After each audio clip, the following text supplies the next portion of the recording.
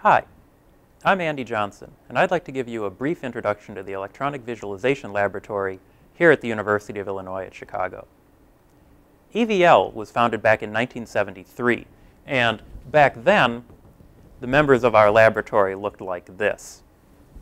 Today, we look more like this. Throughout all that time, EVL is focused on the same basic areas.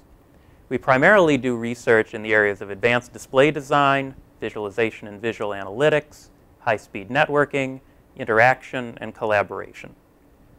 Almost all of the work that we do here in EVL is interdisciplinary and collaborative.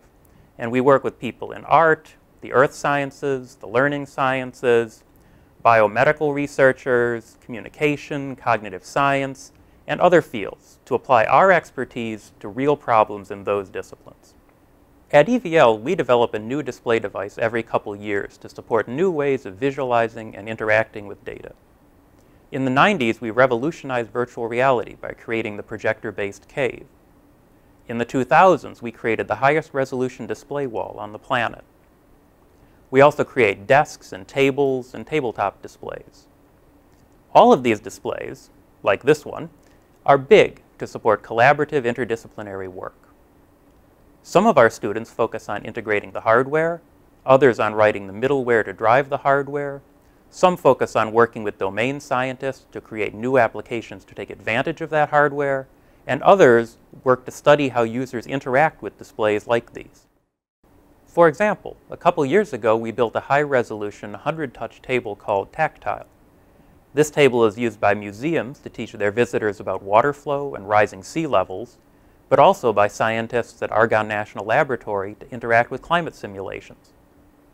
We've also had the students in our video game development course create interactive games for it.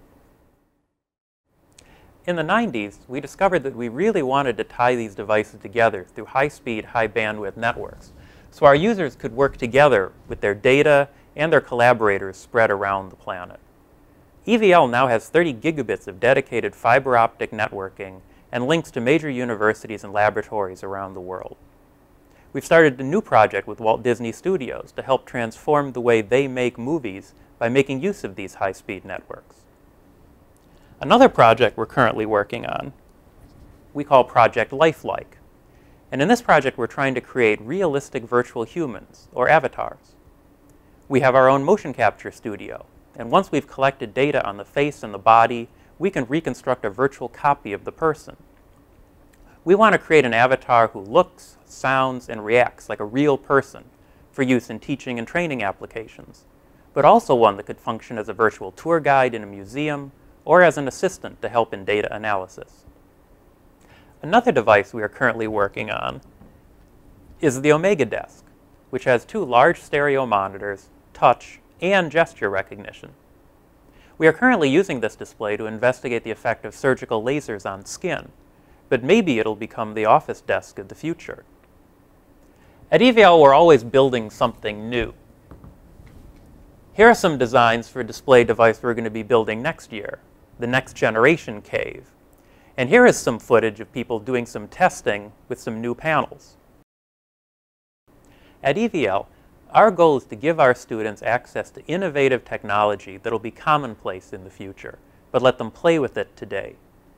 We want to create an environment where faculty and students can explore the potential of cutting-edge technology and work with experts in a variety of domains to use that technology to solve real-world problems.